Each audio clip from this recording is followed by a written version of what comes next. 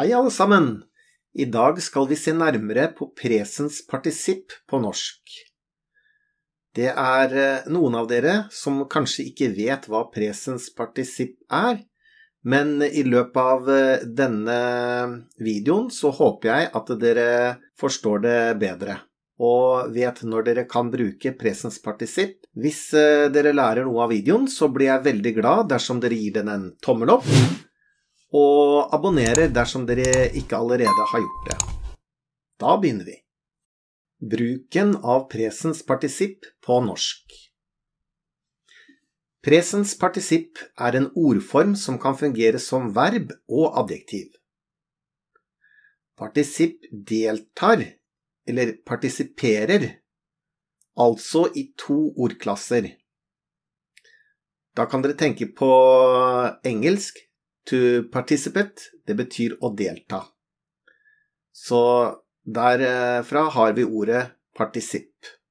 Så altså både i forhold til verb og adjektiv. Vi lager presens particip ved hjelp av verb pluss suffikset et suffiks er det samme som en endelse, og da bruker vi endelsen en-de, ende. Her er noen eksempler. Gå, det er altså verbet å gå, og så legger vi til endelsen en-de, da blir det gående. Skrive, skrivende. Hoppe, hoppende. Ride, ridende. Så sånn lager vi et partisipp av eh, verbet. Her har vi noen flere eksempler. Han kom gående nedover veien. Hun satt tenkende over boka som lå på skrivebordet.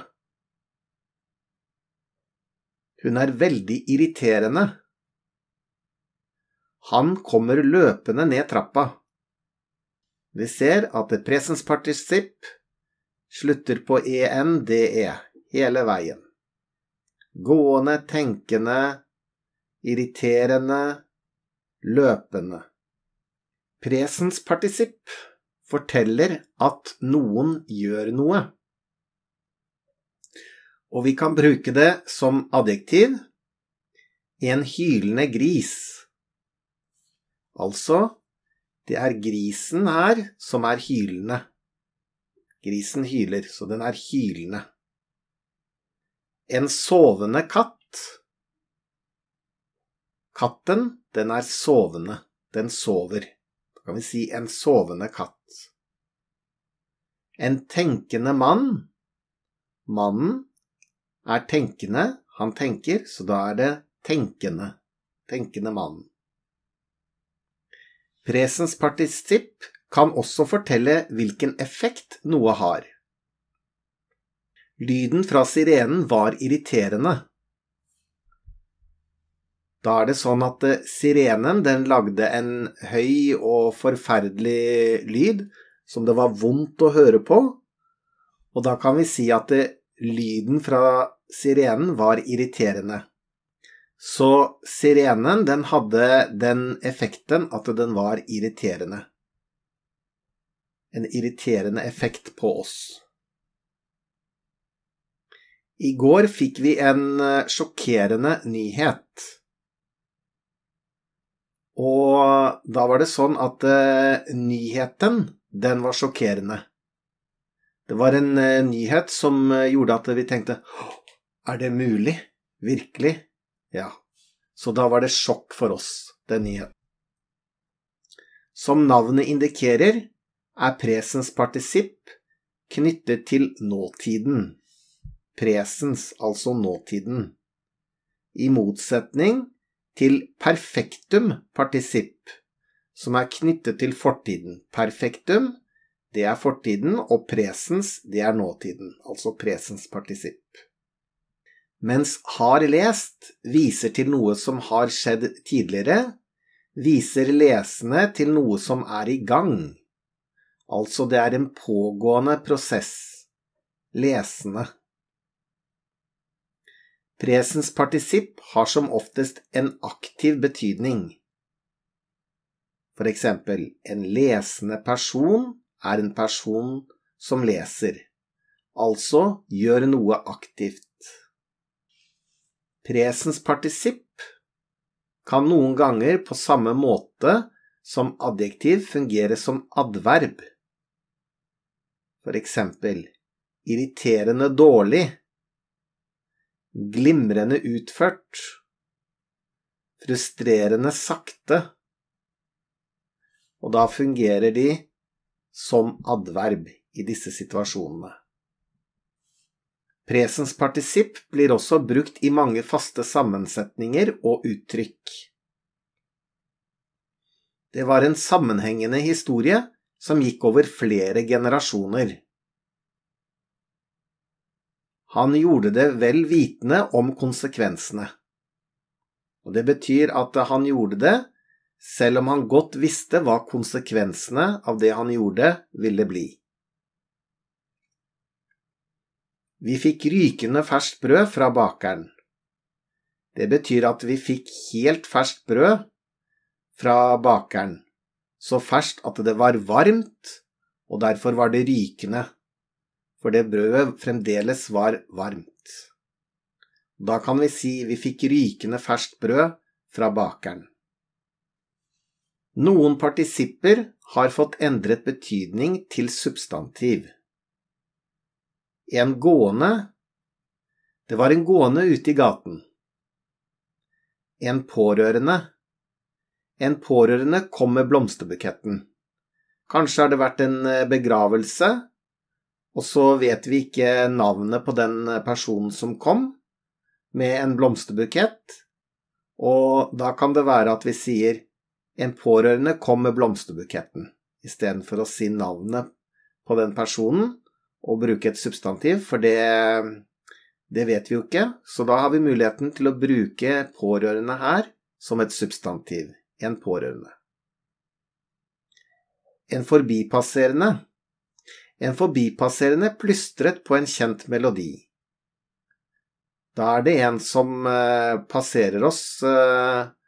for eksempel eh, på veien eller på gata, og plystrer på en kjent melodi. Vi kjenner ikke personen, men istedenfor å si en mann plystret på en kjent melodi, så kan vi si en forbipasserende plystret på en kjent melodi. Da vet vi at det er en person som eh, passerer oss, og som plystrer på en kjent melodi. Da bruker vi det som et substantiv. Presens partisipp kan brukes sammen med et annet verb for å markere at to ting skjer samtidig. Altså, to ting skjer samtidig, da kan vi bruke presens partisipp. Han løp gråtende hjem. Det betyr at han løp mens han gråt. Så mens han gråt, så løp han hjem. Så da gjorde han to ting samtidig. Plystrende på en sang gikk han i gang med jobben.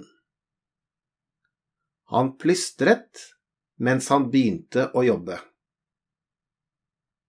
Så både plystring og jobbe samtidig. Den vanligste kombinasjonen er komme pluss partisipp. Som oftest er det det andre verbet et bevegelsesverb. Sånn at eh, det kan være eksempel komme, gående, komme, kjørende, komme, løpende. Gående, kjørende, løpende, det er bevegelse. Det indikerer at vi er i bevegelse vi forflytter oss, vi, vi beveger oss. Ja. Nina kom kjørende over parkeringsplassen. Ole kom syklende oppover bakken. Den gamle mannen kom gående nedover veien. Dette er noen eksempler, og her bruker vi da kom sammen med partisipp. Presens partisipp kan brukes sammen med bli for å markere at noe fortsetter. men dette er vanlig bare sammen med visse verb, som for eksempel bli boende, bli gående, bli hengende, bli liggende, bli sittende, bli stående, bli værende. Her skal vi se på noen eksempler. Ofte kombineres dette med en infinitiv.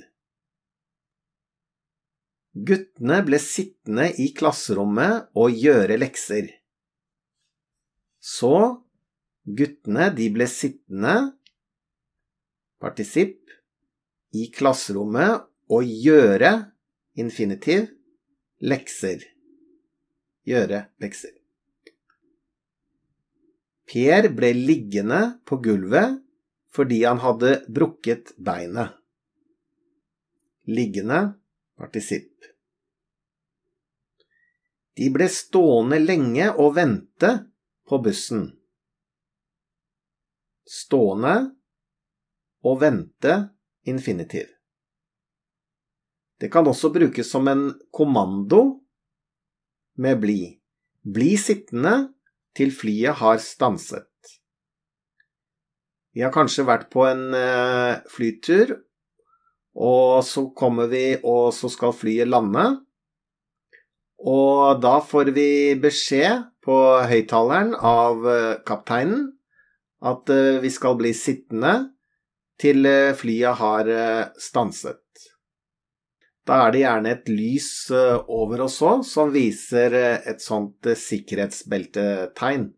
Som når det slukker, så kan vi ta beltet, og da kan vi gå ut av flyet. Så inntil da så skal vi bli sittende. Mange av de samme verbene kan også brukes sammen med ha. Jeg har et kart liggende i en skuff på loftet. Foreldrene mine har en gammel bokhylle stående i kjelleren. Vi har en gammel sag hengende i garasjen. Ja, da håper jeg at eh, dere har lært litt mer om presens partisipp, og at det kan fungere både som eh, verb og som et adjektiv. Jeg håper også at dere vet at dere danner pressens partisipp ved å legge til endelsen ende, ende. Så hvis dere lærte noe av denne videoen, så blir jeg veldig glad dersom dere gir den en tommel opp. Og så ses vi snart igjen i en ny video. Ha det bra!